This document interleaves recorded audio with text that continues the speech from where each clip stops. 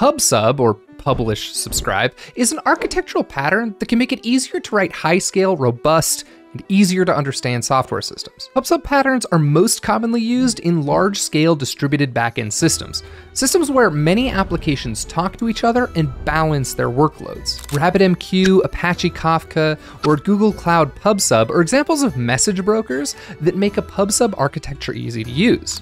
But to talk about PubSub, we first need to understand how it differs from a simple point-to-point -point system. In a point-to-point -point system, one application sends a message directly to another. A simple HTTP put request, say to update a password, is a good example of a point-to-point -point system. In a PubSub system, a publisher sends a message to an intermediate message broker, like Rabbit, Kafka, or Google PubSub. That broker is then responsible for making sure the message makes it to any other services that happen to be subscribed to that kind of message. It's exactly like the difference between email and Instagram. Email is point to point. I send an email directly to someone's email address.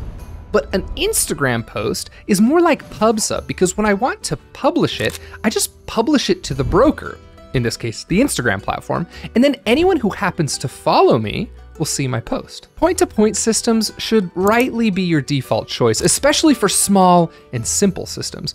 PubSub architectures shine as your system grows, and you need many parts of your system to be aware of all the various events that are firing in real time.